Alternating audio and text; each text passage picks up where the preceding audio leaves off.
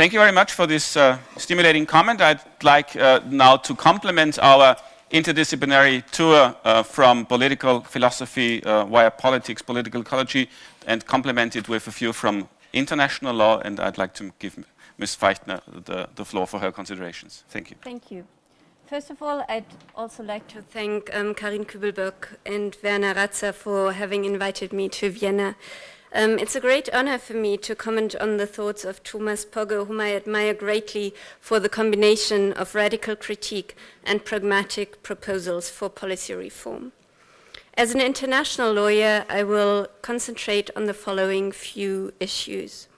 First, I would like to take a closer look at what Pogge calls the resource privilege and ask whether it is supported by international law. Second, I second what I interpret as Thomas Pogge's admonition of international lawyers to treat questions of resource fairness more comprehensively and in a more contextualized manner. And third, I turn very briefly to Pogge's concrete proposals to express my fear that they may undermine the calls for democratization that are also part of Pogge's work. First, the resource privilege. The resource privilege, according to Pogge, is a fundamental flaw in the current distribution order for natural resources. He formulates it as follows I quote, any person or group that succeeds in exercising effective power in a country is recognized as entitled to confer legally valid ownership rights in this country's resources, regardless of how such a person or group may have come to power. This formulation suggests that international law is indifferent to how a gov government came into power and accords to any government in power the right to dispose over a nation's natural wealth. Yet, this interpretation needs to be qualified in light of the history. Oh, sorry. A closer look at the central international law principle for the allocation of rights over natural resources mandates a qualification of this formulation. This principle is the principle of permanent sovereignty over natural resources. It can be interpreted to mean that the state on whose territory natural resources are located may freely dispose over these resources. Thus interpreted, it supports Pogge's formulation of the resource privilege. As under international law, also undemocratic and authoritarian governments are recognized as exercising sovereignty, those governments can also dispose over a country's natural wealth. Yet, this interpretation needs to be qualified in light of the history of this principle as well as current human rights doctrine. In the course of decolonization, the newly independent states fought strongly for the recognition of permanent sovereignty over natural resources. As such, it is closely connected to the right to self determination.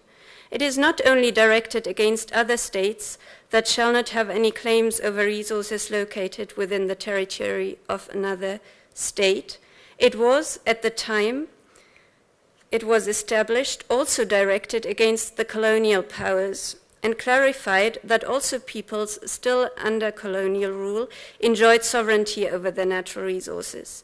This aspect becomes clear from the wording of the principle in Resolution 1803 of 1962, and I cite the rights of peoples and nations to permanent sovereignty over their natural wealth and resources must be exercised in the interest of their na national development and of the well being of the people of the state concerned.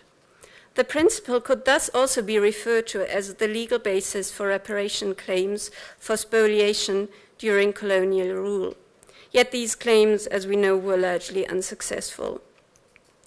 The formulation of the principle in this resolution, as well as its inclusion in both international human rights covenants, also clarifies the connection to human rights. Permanent sovereignty over natural resources must be exercised in the interest of the well being of the people. The Banjul Charter, the African Convention of Human Rights, is even more explicit.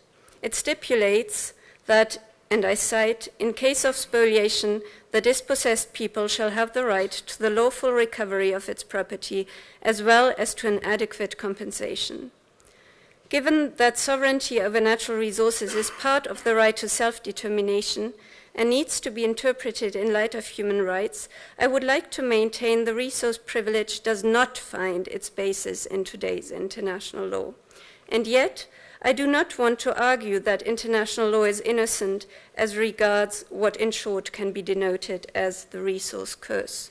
This brings me to point two of my comment that international law needs to deal more comprehensively and in a more contextualized manner with questions of resource fairness.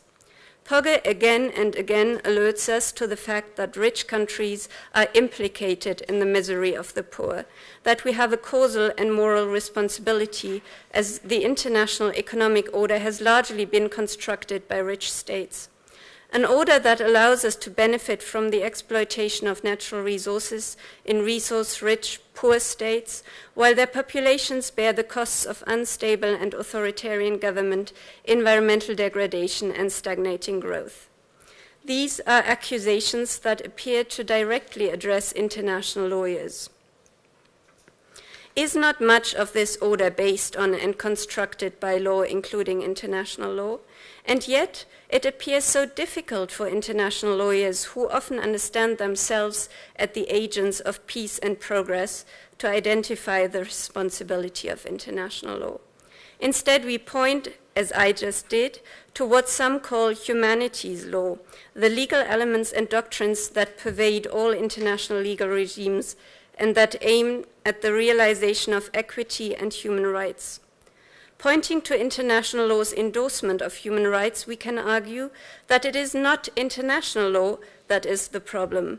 It may be weak and disregarded by powerful actors, but this is hardly to be blamed on the international legal order.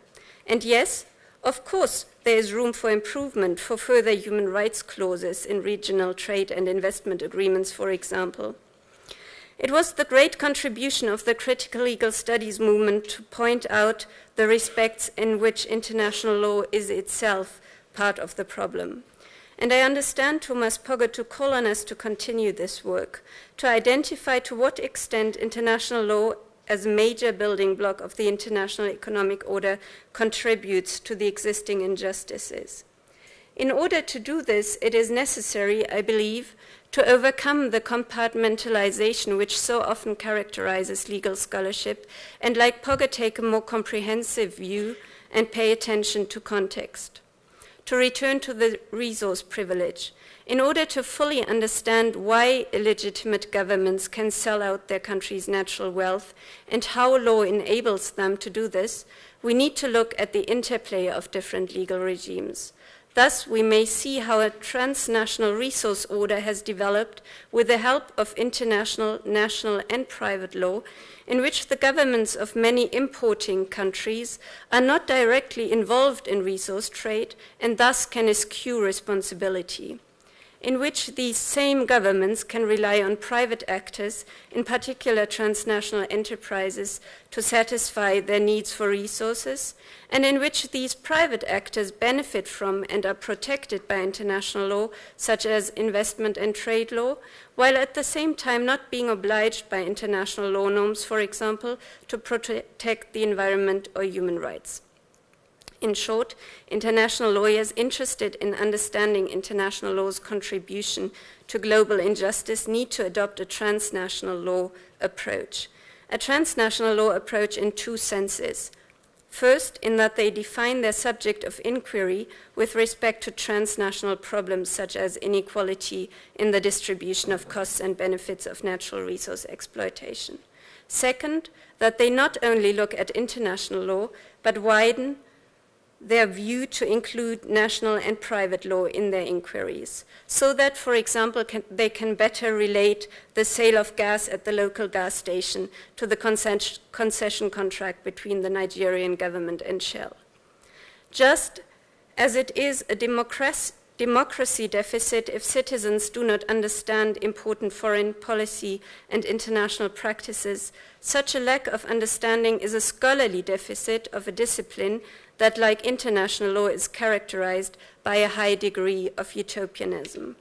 Which brings me to my last point Pogge's pragmatic proposals and their relationship with calls for democratization.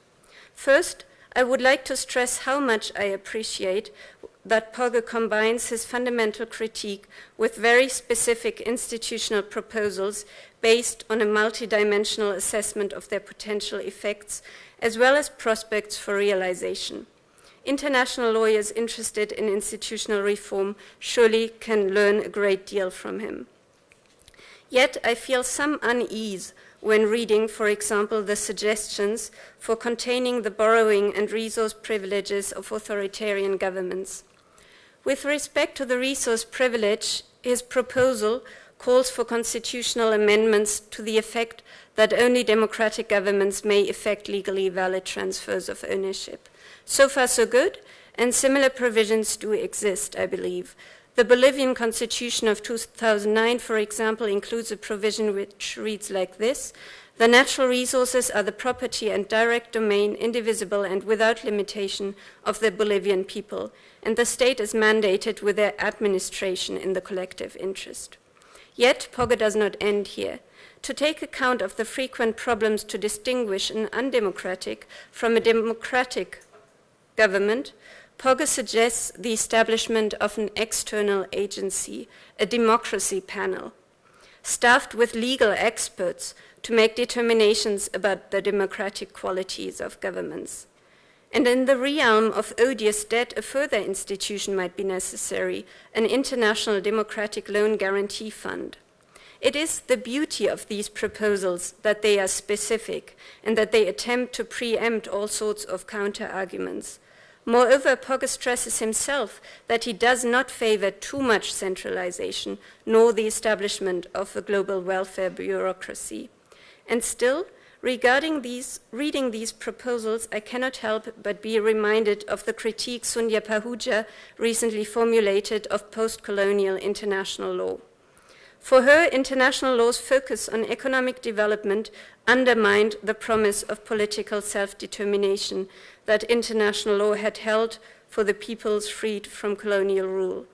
International law's technocratic expert rule came to replace law's promise of justice. I cite Pahuja.